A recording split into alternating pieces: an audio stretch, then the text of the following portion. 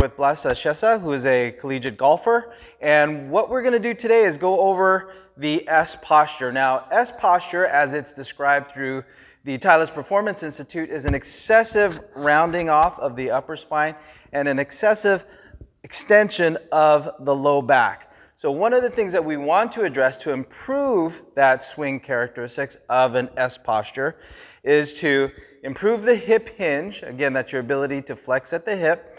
Also improve and increase core stability and control in the trunk turn during your swing, either the backswing or the follow through, as well as controlling that lumbar spine in that hip hinge position.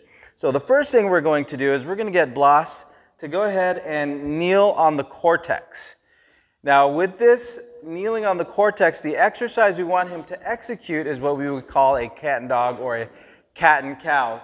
So keeping the platform floating, so again, it's not butted up against the base, he is going to go ahead and extend and flex through his spine. So you'll see here he's getting a nice rounding off of his thoracic spine. He's coming up and down, and he's including a little bit of cervical flexion and extension. As he's coming up, he's also coming up and down with a little posterior tilt of the hip as he's, again, stabilizing through the shoulder.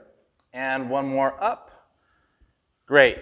The second exercise is a floor bridge, or a variation of the floor bridge where Blas is going to place his feet across the center of the Core-Tex. And when he does this, as you would on a floor version, is we're going to keep that spine nice and straight, so good stability from shoulder to hip. As he hinges at the hip, he's going to raise his hips straight up to the ceiling. So he's going to push up. He's going to keep the platform floating. Again, feet flat, pointing straight ahead. Raises up, a little bit of a pause, and then right back down again. Soon as his tailbone touches the floor, it's going to come right back up again. And desired repetitions are going to be about 15 to 20, more for stability and control. So again, looking for nice stable trunk, up and down, steady motion, hip, knee, and toe in line, and we'll get one more here. Now to move him from the floor, I'm going to go ahead and get him to do the third exercise, which is a basically a quarter or a half squat, standing on the Core-Tex, and he is going to get a nice rotation, turn, as if he were turning his hips through a swing. So feet nice and even, front to back, side to side. He's got a good athletic position, or what I might call a five iron position. Two hands on the railing, and I'm gonna have him turn his hips left to right. No need to go too far right or left. He's gonna keep his feet under his hips. Good, good posture from the head all the way through the shoulders and the hips. Again, keeping that nice athletic position.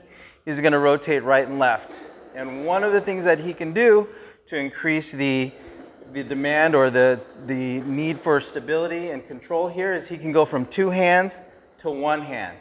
So here he just dropped the right hand, has his left hand on the railing, and he's just going to rotate right and left. So you'll see here he's getting a little bit more dynamic in his rotation as he goes from two points of contact to one and perfect. And those are three basic exercises that we can use the Core-Tex with to enhance the S posture swing characteristic.